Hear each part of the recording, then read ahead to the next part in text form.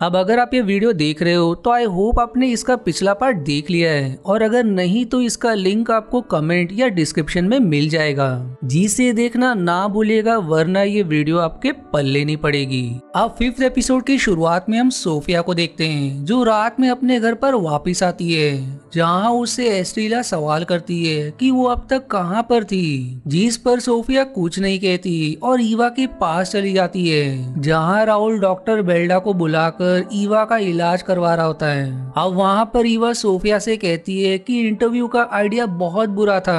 फिर इसके बाद सोफिया अपने कमरे में जाकर सो जाती है। जहाँ उसे याद आता है कि सैमुअल और हेलिद उसका बलात्कार करने की कोशिश कर रहे थे और चिस्को उसे बचाने का प्रयास कर रहा था। पर स्नोफ्लेक चिस्को को पीटने लगता है। तब सोफिया स्नोफ्लेक को चिस्को को मारने से रोकती है।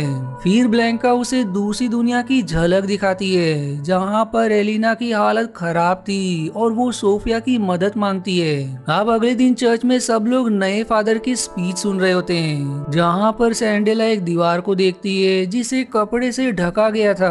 दूसरी तरफ़ एस्टेला गुलिन को बहुत से किताबें दिखाती है और कहती है कि कल्ट ऑफ़ लाइट के लोग इस दुनिया को नकली मानते थे और दूसरी दुनिया के पार जाना चाहते थे, जहाँ पर दुख और दर्द नहीं है। वहीं दूसरी ओर चीज़ को सोफिया के बारे में याद करता है, जिस को बचाने पर सैम्यूल और हैलिद ने उसे बहुत मारा था और किसी से कुछ न कहने के लिए धमकाया था। फिर चीज़ को ईवा से मिलने उसके घर पर आता है और उधर इंस्पेक्टर गुलेन ब्लैंका की फ़ोटो अपने जूनियर को देता है और उसके बारे में खोजबीन करने के लिए कहता है। वहीं चिस्को से मिलने के बाद ईवा सोफिया पर गुस्सा करती है और उसे बताती है कि उसके दोस्तों ने चिस्को को बहुत मारा है और उसे सिविल गार्ड के पास चलने के लिए कहती है। तब सोफिया उसे बताती बताती है कि उन लोगों ने उसे बेवकूफ़ बनाया है। पर इस पर ईवा उसे समझाती है और फिर से उनसे मिलने से मना करती है। दूसरी ओर एस्ट्रेला गुलिन को लेकर चर्च में जाती है और वहाँ पर उसे एक पेंटिंग दिखाई देती है, जो कपड़े से ढका हुआ था।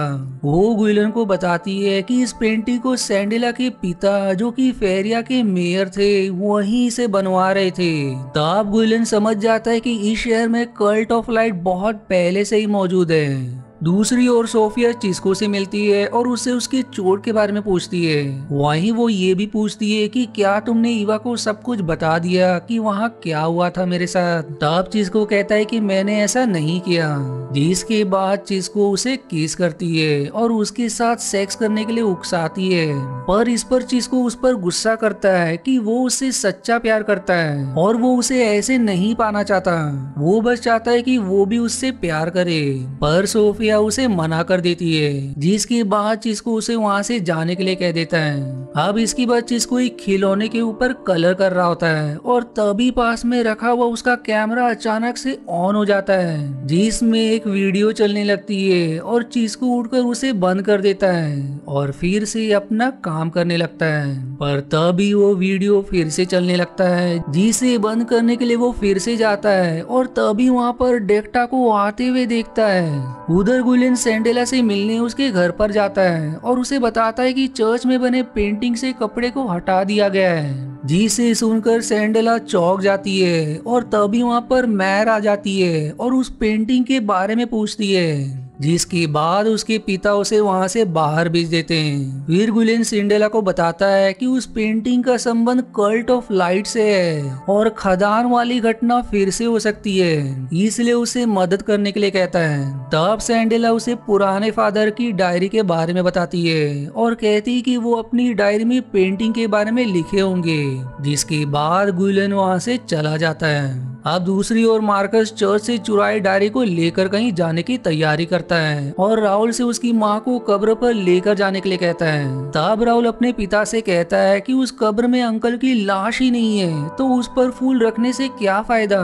जिस पर मार्कस राहुल को डांटता है और उसे ज़बरदस्ती उस पर फूल रखने के लिए कहता है, फिर वो अपने गाड़ी में बैठ जाता है, जहाँ पर वो देखता है कि कोई उसका पीछा कर रहा है। उधर एवा से मिलने उसके घर पर सेराफीन आता है और ईवा को एक छोटा सा बॉक्स देता है, जिसमें एक पत्र होता है, जो कि पाब्लो ने उनके लिए भेजा था, जिसे पढ़कर सोफिया बहुत खुश होती है। और फिर वो ईवा को भी खबर करती है कि हमारे पिता ज़िंदा है, इसलिए दोनों रात को उनसे मिलने का प्लान बनाते हैं। वहीं चिस्को एक दुकान पर जाता है और कुछ सामान माँगता है, और तब उसे वहाँ पर भ्रम होने लगता है, और उसे वहाँ पर उसकी माँ भी दिखाई देती है, जिसके बाद वो उस दुकान से सामान लेकर बाहर भाग आता है। अब उसके बाद ही रात में चिस्को को डेक्टा अपने वश में कर लेता है, जिसके बाद वो एक गन में गोली भरने लगता है। दूसरी ओर सोफिया और ईवा सेराफिन के घर के पास आ जाते हैं, जहाँ पर पाब्लो सोफिया से गले मिलता है और ईवा को भी अपने पास बुलाता है। पर तभी वहाँ पर पुलिस वाले आ जाते हैं, जिन्हें ईवा ने ही वहाँ पर बुलाया था। फिर सभी पुलिस वाले पाब्लो को गिरफ़्तार कर लेते हैं और वहीं सोफिया को गिलन पकड़कर समझाने लगता है। और उसी दौरान ईवा अपने पिता और सोफिया से ऐसा करने के लिए माफ़ी मांगती है। पर तभी सोफिया गुलन से अपने आप को छुड़ा लेती है और सीधे जंगल की तरफ़ भागने लगती है, जिसे पकड़ने के लिए कुछ पुलिस वालों को गुलन जंगल में भेज देता है, जिसके बाद सोफिया जंगल में एक जगह पर रुककर रोने लगती है। और तभी वहाँ पर हलीद आ जाता है और फिर सोफिया उससे ब्लैंका के पास ले जाने के लिए कहती है। उधर शहर में चिस्को एक मास्क पहनकर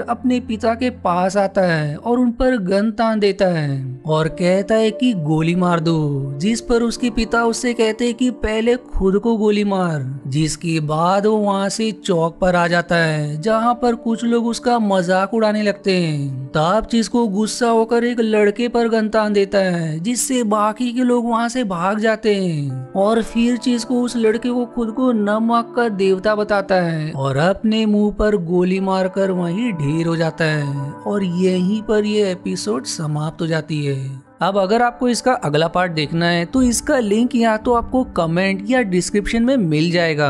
और अगर नहीं तो इसका अगला पार्ट में जल्दी पोस्ट करूँगा। इसलिए मेरे चैनल को सब्सक्राइब करना ना भूलेगा, ताकि आपसे अगला एपिसोड ना मिस हो। और वहीं अगर आपको मेरी वीडियो जरा भी पसंद आती है तो प्लीज़ इसे लाइक ज़रूर करें। और आज के वीडियो में इतना ही।